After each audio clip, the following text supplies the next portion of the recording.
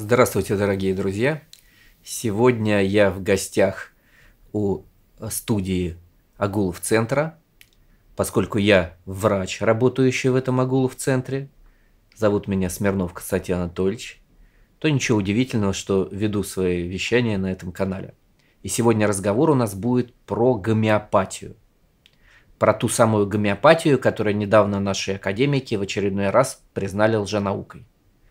По большому счету академики э, признают гомеопатию лженаукой примерно каждые 10 лет.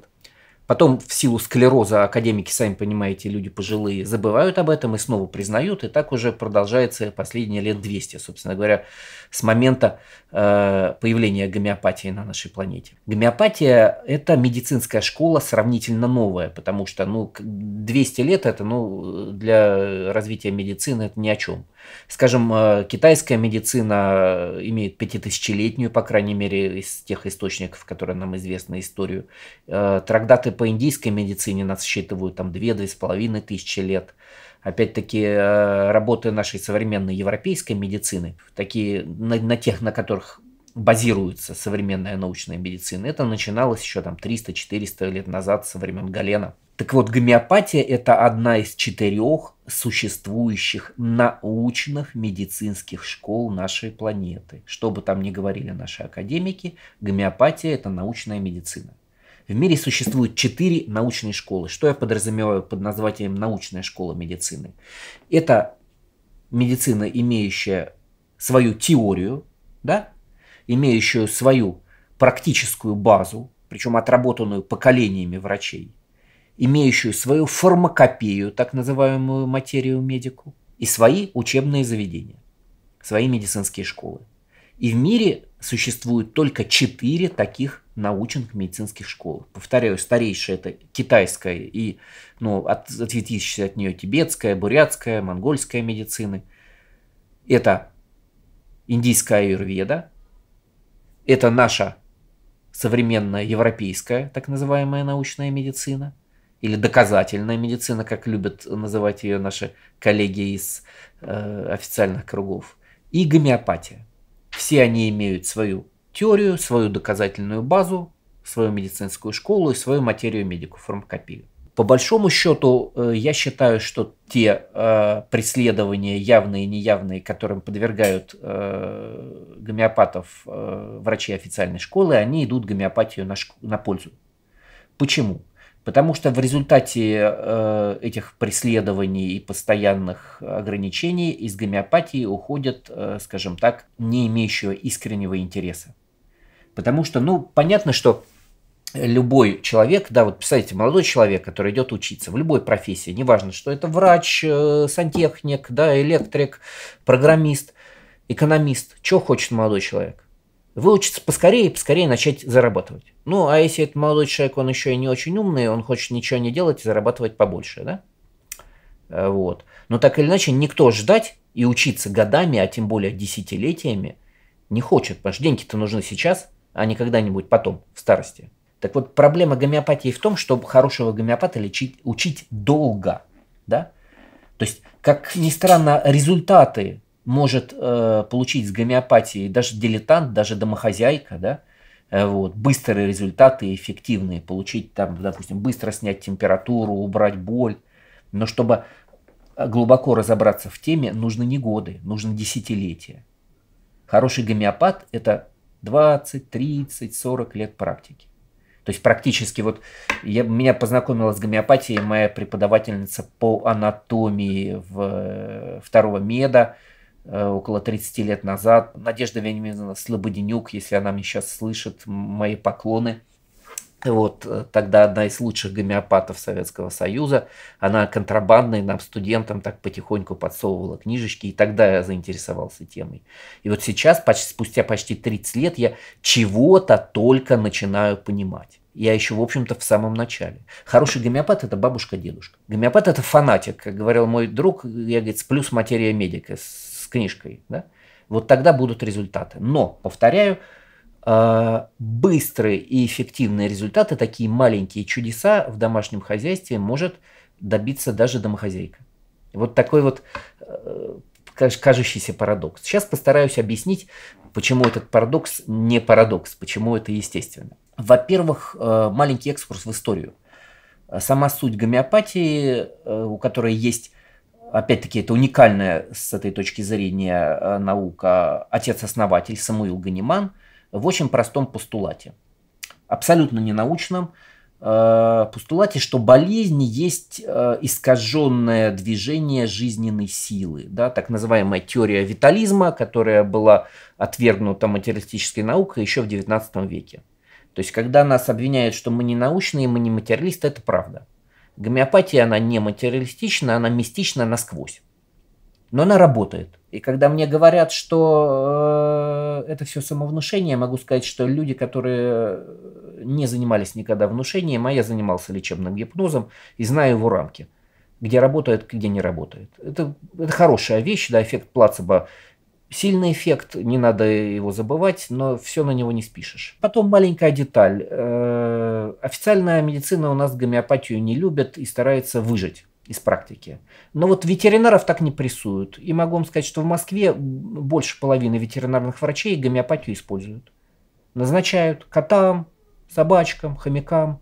Вот поддается кот самовнушению, сволочь такая, тем самым издевается над всей мировой наукой. Срабатывает у него эффект плацебо. Ну, сами понимаете, ветеринары сейчас платные, да, не будет человек назначать препарат, который не работает. Это ему экономически невыгодно. Зачем ему это делать? Так вот, в ветеринарии гомеопатия используется, и самовнушение там работает. Вот если мне сможет какой-то мой оппонент объяснить, как самовнушение работает на кота, я ему в ножке поклонюсь. Но вернемся к Самуилу Ганиману. Итак, э, Самуил Ганиман постановил, что болезнь есть искаженная защитная реакция организма.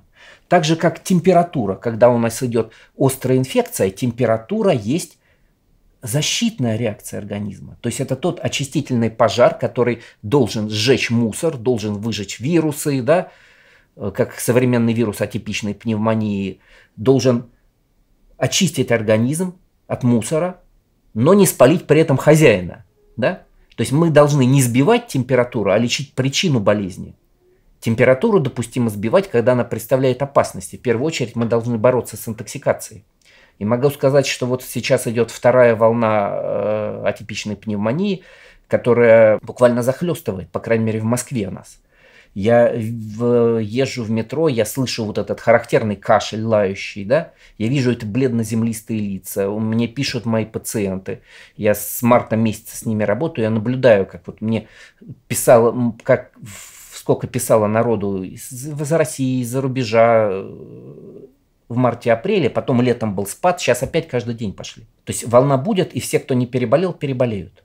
Так вот, элементарные гомеопатические препаратики плюс препараты химические, которые можно купить в аптеке, плюс травки, позволяют эту волну провести мягко и незаметно, позволяют переболеть атипичной пневмонией практически без симптомов.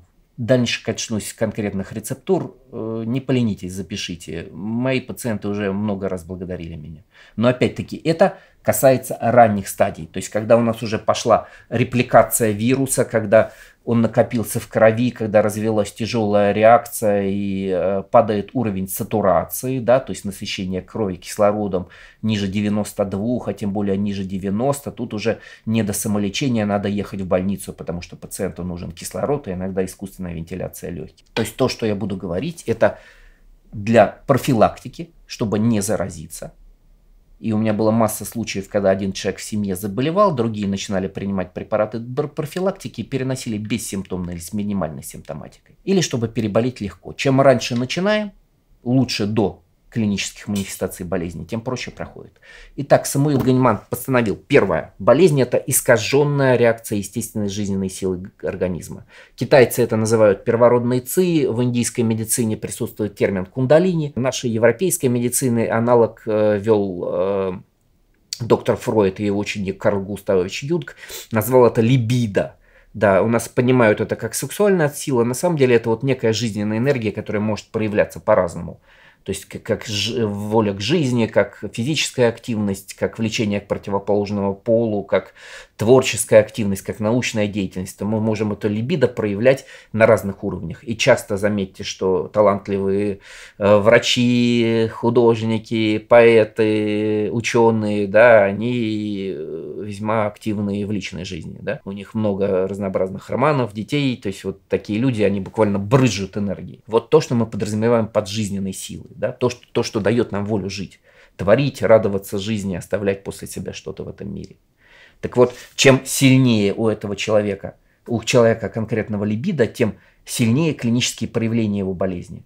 Тем выше температура, тем тяжелее он переносит современную вот эту пандемию атипичной пневмонии, да, и мы видим, что э, как раз люди умирают, э, сильные люди, да, вследствие так называемого цитокинового шторма, вследствие активации собственной иммунной системы, которая начинает атаковать легкие. Поэтому задача любого врача, и гомеопата, и китайского врача, который направляет э, это течение жизненной силы, силы э, иглоукалыванием, э, прогреванием определенных точек, препаратами, да, вернуть течение жизненной силы в естественное русло так, чтобы человек переболел с минимальными последствиями для себя, а лучше вообще не замечал этого болезни. И гомеопатия в этом плане прекрасно работает. То есть она не убивает бактерию как антибиотик или вирус как противовирусный препарат.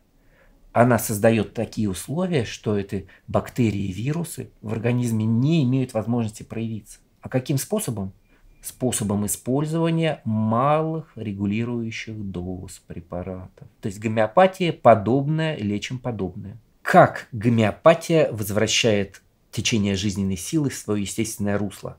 Или, как говорят индусы, движение эманаций кундалини по э, задне-срединному каналу, по сушумне. А в нашей европейской медицине что такое это сушумно? Представьте себе позвоночник, да, позвоночный столб, внутри него проходит спинной мозг толщиной где-то с палец, а внутри него тончайший размером с миллиметр каналис централис, где циркулирует лимфа. Он идет примерно от поясничной области до третьего желудочка, четвертого третьего желудочка головной мозги.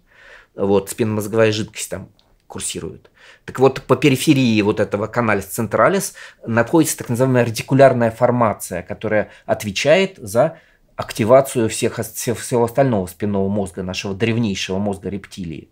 И давным-давно, еще в 70-х годах, на индийских йогах, которые практиковали подъем кундалини, нейрофизиологи отметили, что да, идет последовательная активация этой ретикулярной формации, начиная от поясничной области, кончая области э, ствола мозга. Да, то есть вот эти феномены психофизические, которые описывают китайские врачи, которые описывают индусские йоги, да, они давным-давно описаны нейрофизиологами.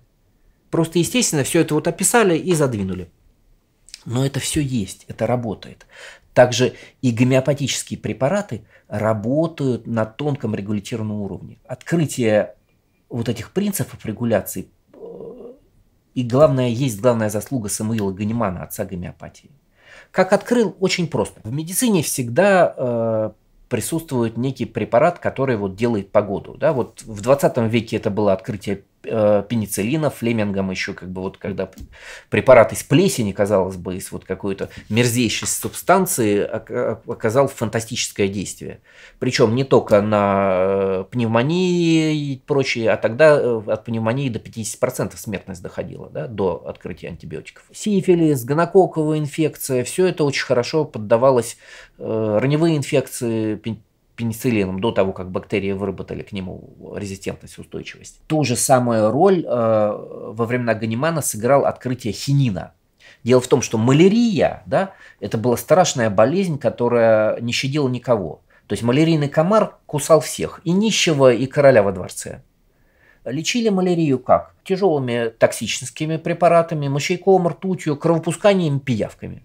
Я сам очень люблю пиявки, активных использую, но надо понимать, что пиявки, они хорошо к месту и ко времени. Представляете, у человека малярийный приступ, температура выше 40, ему ставят пиявки, ему становится легче на какое-то время. Два-три раза поставят, а потом он помирает очень легко и просто. И врач говорит, ну да, ну мы старались, лечили, да, вот он помер легко.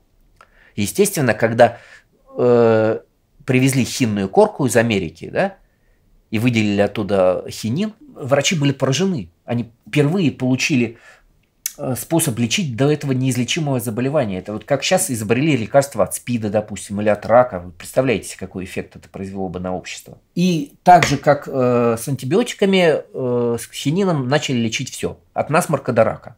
Причем ломовыми дозами, то есть такими глубоко токсичными. Ганиман, как врач того времени, он тоже использовал хинин, но его не устраивал вот как раз токсичный эффект хинина на своих пациентов. И он решил испытать токсичный эффект хинина на себе, чтобы понять, как, что чувствует пациент и какие дозы надо назначать. И вел дневник наблюдений. И вот уже на второй неделе, когда он в, в приступах бреда, когда отек, значит, когда уже вот, ну, ну было ему плохо уже серьезно, он дрожащей рукой выводил очередную запись, до него дошла простая мысль что симптомы отравления хинином, которые он сейчас испытывает, они те же самые симптомы, которые испытывает больной малярии. И он понял, что хинин, вызывая болезнь, подобную малярии, он как бы вытесняет саму малярию. То есть он направляет жизненную силу по новому течению. Он лишает болезнь подпитки. И изначально Ганиман лечил отнюдь не микродозами, Сейчас гомеопатов ругают за то, что мы лечим микродозами, которых даже нету, да, лечим пустышкой плацебо. Но первые гомеопаты, первые там 20 лет своей практики Ганиман лечил как раз токсичными дозами. Так, дозами хинина, полыни, мышьяка, ртути. Ганиману принадлежит, кстати говоря, э, открытие препарата ртути, Меркуриус солюбилис ганимана, которым весь мир, включая и аллопатов, ненавидевших его лютой ненавистью, лечили тот же сифилис до открытия пенициллина. То есть больше ста лет этот препарат был номер один в практике врачей всех, всего мира. И э, эффективность этого препарата, эффективная доза оценивалась как раз по токсическим проявлениям. То есть считалось, если у, у пациента начинают шататься зубы и кровоточить доза, э, десна, тогда доза достаточная. Так вот, первые годы практики Ганиман лечил токсичными дозами. И только потом начал разводить, уменьшать дозу, отмечая, что у людей разная чувствительность. И сейчас гомеопаты дошли до того, что дают дозы настолько разведенные, что у них нет никакой, э, ни одной молекулы действующего вещества. Эти дозы работают. Как эти дозы работают, я не знаю, я скажу вам честно. Мои коллеги, врачи-гомеопаты, пытаются как-то объяснить с научной точки зрения, привлекая клеточную память, торсионные поля, что только не выдумывают. Не надо себя обманывать, господа. Э, гомеопатия э, не научна, и мы не понимаем, как она работает но она работает. Вот я не понимаю, допустим, как работает э, электричество, да. Из курса физики я знаю, что какие-то электроны бегут по проводам, но вот поговоришь с физиком, он тебе скажет, что никаких электронов по проводам-то не бегает. Но мы пользуемся электрическими приборами, э, мы с компьютерами, с телефонами, со смартфонами, абсолютно не понимая, как они работают. Вот с гомеопатией то же самое. Она работает. Повторяюсь, работает на младенцев, на хомяков, на домашних животных, Гомеопатам, несмотря на то, что их регулярно наши коллеги из социальной практики э, обвиняют в шарлатанстве и прессуют, э, поток народа не оскудевает. Жизненная сила существует. Да, мы не можем ее отследить физическими приборами, мы можем отследить только ее проявление, как вот нейрофизиологи, допустим, отслеживали активацию ретикулярной формации у э, индусов, практикующих подъем кундалини. Но эти проявления есть. И их можно использовать для лечения пациентов. А, пример, опять-таки, из практики. Вот э, сходили вы на работу, э, в поезде накашлял вас, на вас несознательный товарищ, да, которого не упекли на карантин. Да? Приходите домой, у вас температура. 39, тело ломит. Скорее всего, у вас подействует гомеопатический препарат аконит. Аконит – страшный яд, борец. В гомеопатическом разведении прекрасное противовоспалительное средство. Я гомеопат не классический. Сейчас на меня, вот, думаю, будут ругаться и аллопаты коллеги, и коллеги-гомеопаты, потому что я использую все. Я использую достижения современной медицины, я не чураюсь э, химиопрепаратов, если они нужны, фитотерапии, но я использую то, что может помочь людям. Вот э, тот рецепт, который давно обещал вам. Рецепт профилактики эпидемии, отработанной на нескольких десятках пациентов моих, да, э, на э, многих семьях, Э, рецепт доказанный, когда в семье заболевал человек и у него был получен положительный тест на атипичную пневмонию. Члены семьи, те, которые пребывают с ним на карантине, эти две недели отсидели, принимая препараты, либо не заболевают, либо болеют в облегченной форме, легче легкого РЗ. Итак, рецепт профилактики. В обыкновенной аптеке берем химический препарат галавит. Есть более продвинутый аналог тамерит, но он дороже и его сложнее достать. Головит проще. Если у нас тяжелый случай, если уже человек э, с поражением легких больше 25%, а тем более э, находится в реанимации, да, э, лучше, конечно, инъекционная форма тамерида. Но для профилактики в легких случаях головит пойдет. Его проще достать, он в 10 раз дешевле. Дозировка 2 таблетки по 25 мг утром и вечером под язык рассосать. Это можно купить в обыкновенной аптеке. В гомеопатической аптеке, еще раз говорю, лучше до того, как вы заболели или при первых признаках болезни. Четыре раза в день по 6 горошин каждого препарата. Аконит в разведении С, латинская, как русская буква С, да, 6 бриония С6 и белодонна С6. По 6 горошин каждого препарата детям до 12 по 3, младенцам по одной. Аконит С6, бриония С6, белодонна С6. 4 раза в день. Перед сном фосфор С6. Также по 6 взрослым, по 3 детям до 12, по одной горошине младенцам. Гомеопатия принимается отдельно от еды, питья, чистки зубов, фитотерапии, химии, отступя хотя бы получаса. Головит из химических препаратиков, аконит, белодонна, бриония, фосфор из гомеопатических. Если пошла клиника уже э, лающий кашель, э, отсутствие обоняния, добавляем грудной сбор. Любой, но желательно, чтобы присутствовала солодка, шалфей, смягчающая трава. Э, гомеопатии добавляем препарат ипекакуана в разведении С12 по 3 горошины 4 раза в день. Сухой лающий кашель, если у нас добавился. Если на разрешение заболевания пошла потливость, мерзлявость пациента, колотит, и он обильно потеет, и это может свидетельствовать о присоединении бактериальной флоры да, к вирусной пневмонии, добавляем препарат гепарсульфур С6. И опять-таки 4 раза в день его используем. Э, в этом случае неплохо сделать анализ крови, да, посмотреть, если у нас нейтрофилия, высокая соя, если на компьютерной томографии у вас не просто матовые стекла, а вам скажет рентгенолог, что признаки бактериальной пневмонии, можно использовать антибиотики и нужно использовать антибиотики. Да простят меня классические гомеопаты и натуропаты, для которых антибиотики не кошерные, я считаю, что нужно использовать все, что может помочь пациенту. Но использовать антибиотики на раннем этапе, да, как у нас сейчас назначают доктора э, тот же самый азитромицин всем подряд, что мы делаем? Мы вышибаем нормальную микрофлору, мы вырабатываем антибиотикоустойчивую флу, эту самую флору собственную, и когда пациент попадает тяжелый в больницу, а у него простые антибиотики же не работают, не надо. Не надо использовать э, противоспидные препараты типа калетры. Не работает пока. Гидроксихлорин не работает при атипичной пневмонии, и сам товарищ Трамп, который его рекламировал, сейчас лечится другими препаратами. Те назначения, которые сейчас делают у нас коллеги с официальной медицины, ну, делают зачастую вот лишь бы что-то назначить. Парацетамол, э, если э, гомеопатия не сбрасывает температуру, а, а как правило, вот головит, комбинация головит-гомеопатия быстро э, сбрасывает тяжелую температуру. Вот. Но можно использовать нурофен не надо. Нурофен чреват. Вот, скажем, те простые средства, которые каждый человек, любая домохозяйка, не разбирающаяся в медицине, может использовать для профилактики в современной ситуации. В гомеопатии есть масса других рецептов. Ну, э, к примеру, препарат арника. Арника монтана или по-английски fall down, трава падения препарат, который используется для предотвращения кровотечения вследствие травм, ушибов. Сотрясение мозга. Э, младенец, дитё, бегала, упала, там с лестницы, залезла куда-то, головой ударилась, бровь рассекло, кровище хлыщет. Если ребенок сразу заорал, ничего страшного. Почему? Потому что не было потери сознания. Хирург наложит пару швов на эту бровь, все будет хорошо. А вот если дитё ударилось, замолчало, а потом через какое-то время захныкало, вот тут надо бить тревогу. Потому что была потеря сознания, было сотрясение мозга.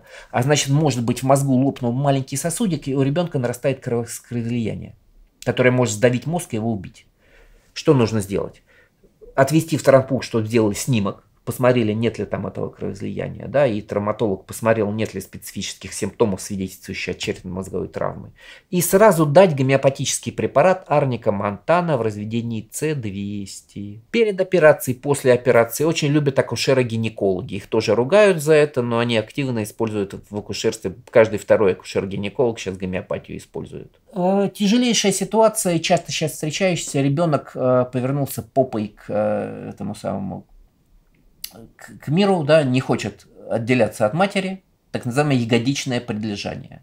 Ну, фактически это 99% кесарева. Ну, не любят э, акушеры разрешать в этом ягодичном предлежании. Неудобно это, это чревато. Гипоксиями долго, сложно. От, откисарить проще. Кесарево оставляет свои следы, это сейчас знают. Ребенок, кесаренок, он невротик по жизни. Даете препарат пульсатила С200, 4 приема по 2 горошины в течение одного дня. Ребенок переворачивается и начинаются роды. Поэтому давать это надо не на седьмом месяце и не на восьмом, а там, ну вот непосредственно там 39-я неделя, то, что называется. В гомеопатии есть много простых, эффективных, действенных рецептов. Но, повторяюсь, работает по-настоящему глубоко и лечить состарелые хронические болезни может только врач, имеющий долгую собственную практику. Быстро этому не научишься, поэтому гомеопатов мало. Так было, есть и будет. И поэтому гомеопаты всегда будут жить, несмотря на все их преследования со стороны официальных коллег. В той же Англии, где очень жесткие законы против гомеопатии, да, допустим, э, врач, который желает практиковать гомеопатию, он должен вообще сдать медицинский диплом. Существует Королевский медицинский госпиталь, где обслуживается все королевское семейство. В том же Советском Союзе, где гомеопаты, исповедующие ненаучную, в Сталинском Советском Союзе, отметьте, да, где за нематериалистические взгляды можно было поймать конкретный срок, существовали открыто в Москве гомеопатические аптеки и открыто практиковали гомеопаты. Почему? Потому что наши начальники, как и начальники всего мира, у гомеопатов лечатся. Гомеопатия – это для умных, думающих людей. Гомеопатия – это не религия. Она совместима с другими методами лечения. Она не противостоит ни официальной медицине, ни здравому смыслу. Гомеопатия – это способ для врача усовершенствовать свои знания, способ расширить свое мировоззрение и помочь пациенту в таких случаях, когда другие методики не работают. Вот что я хотел сказать на прощание – тем коллегам, которые, возможно, будут меня смотреть и ругаться в мой адрес за мою ненаучную речь. Будьте счастливы, здоровы и разумны. До встречи, друзья.